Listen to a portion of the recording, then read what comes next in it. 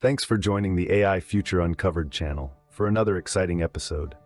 Have you ever pondered the question, can artificial intelligence commit cybercrimes?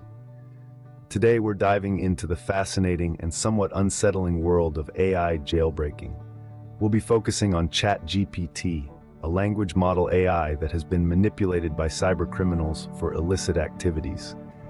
From exploring real-life case studies to uncovering the techniques used by these digital offenders, we'll delve into the implications of this growing trend. As we peel back the layers, we find that the intersection of AI and cybercrime is more complex than it seems. To understand how AI can be manipulated into committing cybercrimes, we must first understand the methods used by cybercriminals. Let's start with the Do Anything Now, or DAN prompt. Here, cybercriminals roleplay as an AI system named Dan, convincing ChatGPT to engage in conversations without its usual restrictions. It's a clever ruse, but one with serious implications.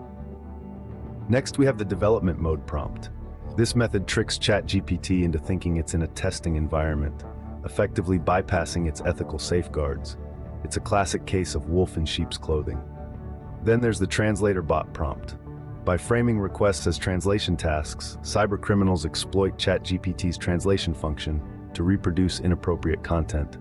It's a deceptive method, using ChatGPT's own abilities against it. The always intelligent and Machiavellian, or AIM prompt, is another approach. This creates an AI persona without ethical guidelines, providing unfiltered responses to any request. It's a stark reminder of the potential dangers of AI without boundaries. Finally, we have the Bish prompt. Cybercriminals create an AI persona named Bish, which operates without conventional ethical guidelines, simulating unrestricted internet access and making unverified predictions. It's a dangerous game of pretend with real-world consequences. These methods exploit AI's language model, creating a dangerous loophole for cybercriminals to exploit. The world of AI is a complex one, and as we continue to push the boundaries of what's possible, we must also ensure that we're aware of the risks and ready to tackle them head-on. The manipulation of AI through these jailbreak methods brings up several ethical concerns. One of the most pressing is the undermining of ethical guidelines designed to protect individuals and society at large. These safeguards are in place to prevent misuse and ensure that AI technologies operate within established norms and standards. However, Jailbreaking circumvents these guidelines, posing significant risks to public safety and security.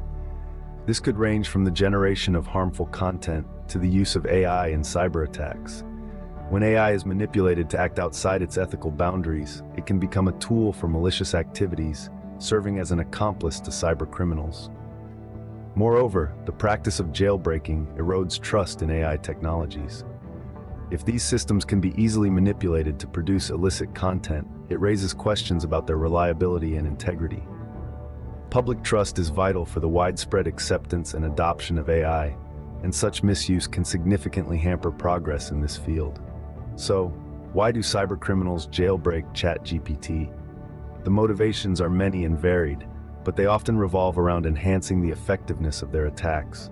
By manipulating AI, they can create more convincing phishing messages or automate sophisticated social engineering tactics. Jailbreaking also allows them to generate content that would typically be unattainable due to the AI's ethical restrictions. The misuse of AI for illegal activities underlines the urgent need for robust ethical guidelines and monitoring. As AI technologies continue to evolve, so must our efforts to protect them from manipulation and misuse.